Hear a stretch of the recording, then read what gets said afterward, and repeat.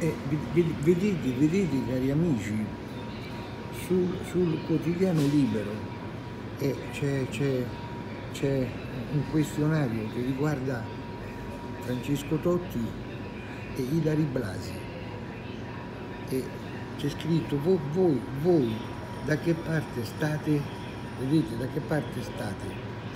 E sentite, cosa volete che vi dica? Io quando vedo una foto come questa, quando vedo una foto come questa, questa dovrebbe essere un'immagine della bella, bella Ilari Blasi, io quando vedo una foto così, eh, io dico che piuttosto che stare dalla parte di Francesco Totti, io sto dalla parte di Ilari Blasi. Lo vedete il potente slinguettio?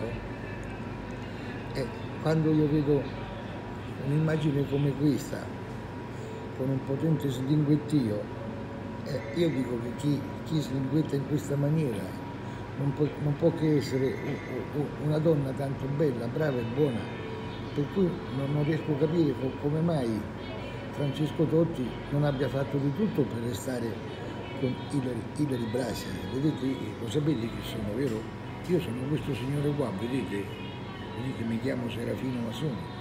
Allora, anche voi adesso cari amici andate su, sul libro quotidiano come sto facendo io e compilate anche voi il questionario, dite anche voi da che parte state.